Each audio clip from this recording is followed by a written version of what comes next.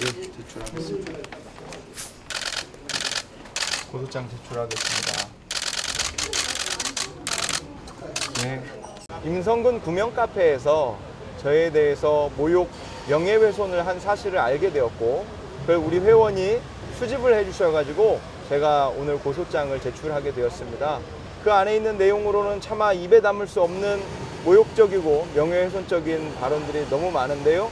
제가 최상병을 팔아서 뭐 박정훈을 팔아서 돈을 벌려고 했다든지 아, 그리고 뭐 이걸 해가지고 끼니를 때우려고 했다든지 아니면은 뭐, 뭐 저에 대한 모욕적인 발언들이 상당하게 있었고 뭔 새끼, 뭔 놈 이런 것들이 상당히 있었는데 제가 그런 말을 들을 어, 타당한 이유가 없습니다. 아, 그래서 제가 고소를 하게 되었고 지금 이 카페는 임성근 전 사단장의 변호사의 지인의 지인이 운영했다라고 알고 있습니다.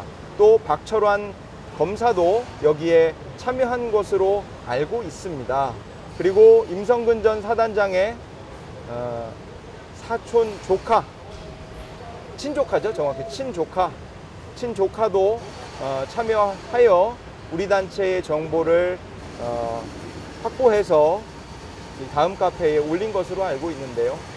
어, 이렇다면은 도의적인 문제도 있고 법적인 문제도 있지 않을까. 자체는 모욕이나 이제 명예훼손, 허위 사실을 적시해나 명예훼손이 되는 것은 이미 뭐 너무 타- 확정적인 부분이라 그 부분에 대해서는 이견이 많이 없을 것 같고요. 이제 귀추가 주목되는 부분은 과연 그 작성자가 누구인지 그리고 현직 검사인 박철환 검사를 비롯해서 이제 공직자나 현직 언론인들이 가- 개입이 되어 있는지 여부가 사실은 이제 더 귀추가 주목된다고 할 것입니다. 왜냐하면 내용 자체는 너무 명예훼손이나 모욕이 되는 것들이 명백한 부분들이 많아서 그 부분은 사실 경찰 입장에서도 수사하는데 어렵지 않을 거예요.